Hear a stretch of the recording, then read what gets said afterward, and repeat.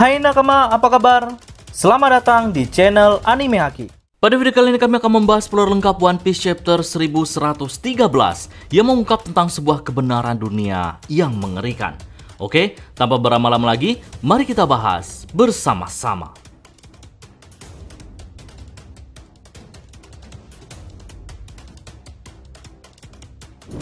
Judul pada chapter kali ini yaitu Jalan Buntu.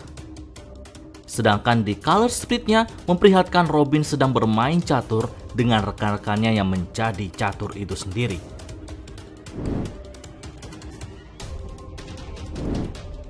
One Piece Chapter 1113 melanjutkan di dalam ruangan yang gelap yang membuat Mars sangat begitu kaget. Dan ternyata Mars melihat sepotong kepala Vegapunk dalam tabung. Mars terkejut mengetahui Vegapunk selama ini hidup dengan kepala sudah termutilasi. Dalam kebingungannya, Mars berkata, apakah Vegapunk benar-benar sudah mati? Di mana letak kesadaran Vegapunk apakah ada pada tubuhnya atau pada potongan kepala ini? Di mana sebenarnya kau berada Vegapunk? Mars kemudian menghancurkan Denden Musi live streaming untuk menghentikan pesan yang akan disampaikan Vegapunk. Tapi lagi-lagi Mars harus tertipu karena ternyata Denden Musinya palsu. Mars terlihat sangat marah dan kesal mencari Denden Musi yang asli karena siarannya sudah mau mulai dan ia merasa telah dimainkan oleh York. Di seluruh dunia sekarang, orang-orang mulai menyetel Denden Musi di layar mereka untuk melihat siaran langsung Vegapunk. Di sini, Kaya, Mary, Ninji, Piman, dan Tamageri berdiskusi apakah siaran Vegapunk akan membahas tentang kedokteran atau tidak. Kita juga diperlihatkan Krokus menonton bersama dengan Labon. Di Baldimoa, si kakek terkejut saat melihat Frankie sekarang menjadi kapal. Kemudian di Pulau Behave, Krochotits juga turut menontonnya. Hitungan mundur pun telah dimulai. Dimulai dari 3 sampai dengan 1. Sekarang siaran Vegapunk telah dimulai. Mars yang tampak pasrah karena misinya mencari sumber sinyal telah gagal, ia mengatakan bahwa ia tidak tahu Vegapunk akan menyampaikan hal apa, tapi sepertinya dia ingin balas dendam untuk kematian Profesor Clover dan juga Pulau O'Hara.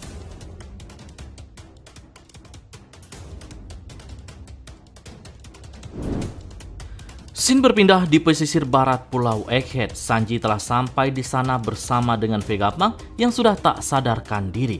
Dan ia melihat siluman kuda Nusjuro akan menyerang Bonnie dan tanpa banyak pikir lagi, Sanji dengan kecepatannya langsung menendang siluman kuda tersebut. Nusjuro berubah ke dalam bentuk kuda seutuhnya atau yang kita kenal sebagai Bakutsu dan menggigit kaki Sanji. Oimo dan Kasi melihat Sanji tampak kesulitan melawannya langsung membantu Sanji dengan menyerang Nusjuro dari sebelah kiri dan juga sebelah kanan. Bonnie pun tak mau tinggal diam saja. Ia berubah ke dalam wujud Jirtri meniru wujud Luffy yang mana kakinya terlihat besar dan langsung menendang Nusjuro. Jadi saat ini Nusjuro harus melawan empat orang dengan gaya bertarung yang berbeda-beda.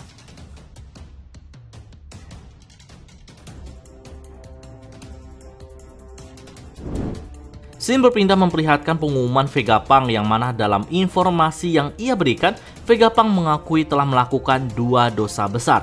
Namun dalam spoiler ini tidak dijelaskan dosa apa yang telah ia lakukan. Kata Vegapunk, jadi kemungkinan aku ditangkap atau dibunuh itu besar kemungkinan akan terjadi. Yang berarti jika kalian saat ini sedang menonton siaran ini, itu artinya aku sudah mati. Dalam ucapan Vegapunk ini, kita diperlihatkan reaksi atas kematian Vegapunk, yang mana Caesar dan ayah Sanji menangis karena dia merasa sudah bekerja sia-sia karena tidak bisa membuat Vegapunk mengakui kehebatannya. Sedangkan di dekat Sabodi, kita bisa melihat Duval di markasnya. Dia bingung kenapa Vegapunk mati ketika berita pagi menyebutkan dia adalah Sandra dari bajak laut topi jerami. Lalu, di kantor pusat surat kabar ekonomi dunia, dapat melihat Morgan, dia sangat marah. Morgan mengatakan siaran seperti ini akan menjadi akhir dari bisnis surat kabarnya yang mana ia saat ini sedang gencar-gencarnya memberitakan tentang Egghead. Setelah melihat reaksi semua karakter ini, pesan Vegapan pun berlanjut.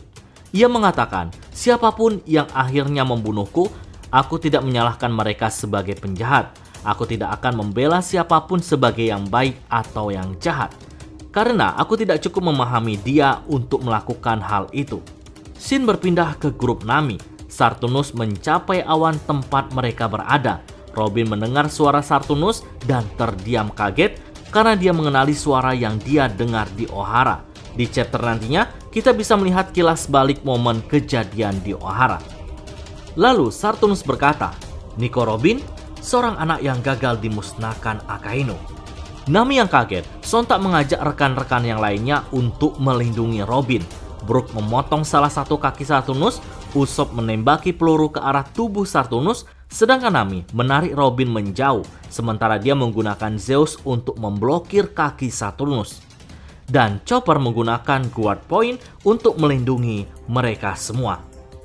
Sayangnya di chapter ini tidak memperlihatkan pergerakan Luffy, Zoro, ataupun Jinbe. Nah, Shin lalu berpindah ke Mars lagi dia sedang berbicara dengan Gorose lainnya tentang apa yang harus mereka lakukan sekarang. Mars bertanya, apa yang akan terjadi jika aku menghancurkan pembangkit listrik? Sartunus langsung melarang melakukan hal itu di pulau ini karena efeknya terlalu berbahaya yang akan menghancurkan semua pulau dan bahkan semua prajurit angkatan laut akan mati. Topman membenarkan hal itu yang berarti tidak ada energi yang bisa menciptakan Mother Flame lainnya jika pulau ini dihancurkan. Di akhir chapter, dengan kata-kata mengejutkan Vegapunk ini, sementara kita juga diperlihatkan pemandangan laut dengan si kecil Egghead. Vegapunk menjelaskan, apa yang akan aku katakan mungkin terdengar tidak masuk akal. Banyak yang akan mentertawakanku, tapi semua orang berhak mengetahuinya. Mari kita mulai dengan kesimpulannya dunia ini akan tenggelam ke dasar laut. Dan bersamaan perkataan Vegapunk, kita juga diperlihatkan dasar laut, tempat beradanya Putri Duyung berenang bersama ikan dan juga paus. Oke, itulah spoiler kali ini. Nantikan pembahasan menarik lainnya pada video selanjutnya.